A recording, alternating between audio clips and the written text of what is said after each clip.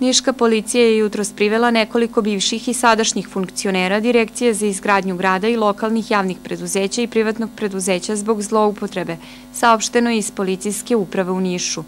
Privedeni su Miodrag B., bivši direktor javnog preduzeća Direkcija za izgradnju grada Niša, Branislav J., zamenik direktora, Branislav J., izvršni direktor i Dragan K., pomoćnik direktora za pravne poslove tog preduzeća, navela je Niška policija.